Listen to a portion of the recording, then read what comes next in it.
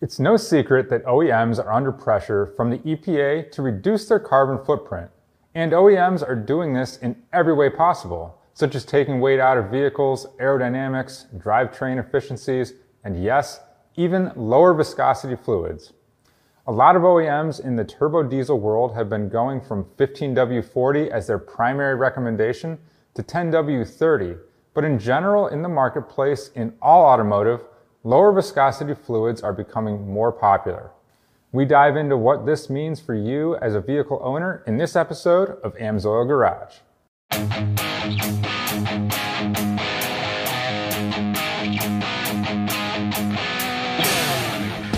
Hey guys, I'm Greg Jones for Engine Builder, and today we're covering the topic of lower viscosity fluids in newer vehicles and what you need to know to properly protect your vehicle's engine. OEMs are moving to lower viscosity fluids because they're finding efficiencies in reducing the work it takes to pump fluids within the engine. If you compare the viscosity of a 15W40 to the viscosity of a 0W20, they're dramatically different. What OEMs are testing and proving to themselves is that lower viscosity can yield fuel economy improvements. Now, on a dyno in a controlled atmospheric environment, you can see those gains. However, when you bring in the real world, those gains are quickly lost by a multitude of factors such as people's different driving styles, a tank of bad fuel, a 25 mile per hour headwind, and so on. All of these real world conditions start to snuff out any real differences you're going to measure in the change in viscosity between that 15W40 and a 0W20. While the real world may cancel out most of those fuel economy gains from lower viscosity, it hasn't stopped OEMs from engineering engines to accept those lower viscosity fluids, and in that case, it's all about engine design and engine clearances. When you look at bearing clearances to journals, you have a specific clearance in there that you want oil to fill, so that you don't have metal-to-metal -metal contact. You have this nice wedge of oil that pushes those two apart, and your engine parts ride on a constant hydrodynamic film of oil. If I design my clearance for an 8 weight oil, but I put a 40 weight oil in it, the engine's gonna quickly destroy that oil to try to ram it through all those little tight clearances, and it's gonna take a lot of energy to do so. On the flip side, if I take an engine that's clearanced for a 40 weight oil and I put an 8 weight oil in it, I may have some problems maintaining a lubrication wedge, so I may have some wear problems. Again, the idea is to get better fuel economy, but not every person cares about fuel economy if it means more wear in the engine or poor performance from the engine. For instance, most three-quarter ton truck guys probably aren't towing a ton of weight behind them, but the one-ton guys probably are. And most of those trucks are utilizing a 10W30 oil and can tow somewhere in the neighborhood of 30,000 pounds. It's highly likely that oil is getting pretty hot and pretty thin, but that's the guidance from the OE because they care more about fuel economy than wear protection. Every truck manual will give you a chart that's based on temperature.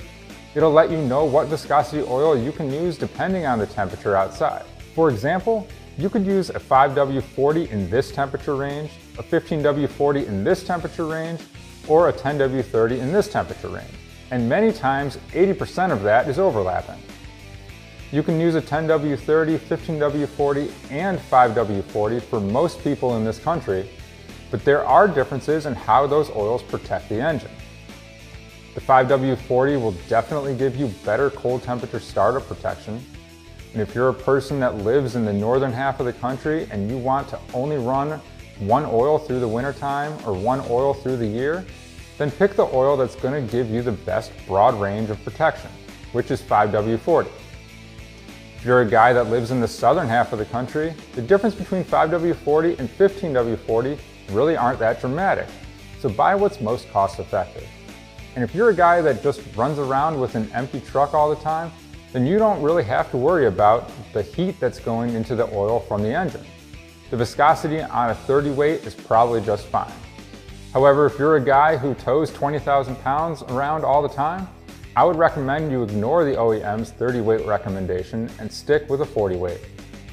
Your engine's gonna see a lot of heat, and as that heat goes up, the viscosity goes down. So you're better off starting with a higher viscosity to give you more film thickness and better protection. Lastly, if you're a guy who wants the very best protection for his engine and doesn't really care about fuel economy, then stick with the 40 weight oil. It'll again give you the better film thickness, wear protection, and better longevity for your engine. It really comes down to what you want out of your vehicle and its engine. Do you want the 1% fuel economy improvement that you're going to get between a 10W30 and a 15W40? Or do you want the better wear protection that the 15W40 is going to provide for your engine? In my experience, 99.9% of people are going to want their engine to last as long as possible. So give me the better wear protection, give me the 40 weight. Well, that does it for this episode of Amsoil Garage. Please like, comment, and subscribe if you haven't already. Visit amsoil.com for all your vehicle's fluid needs, and for more engine content, visit enginebuildermag.com. Thanks for watching, and we'll see you guys next time.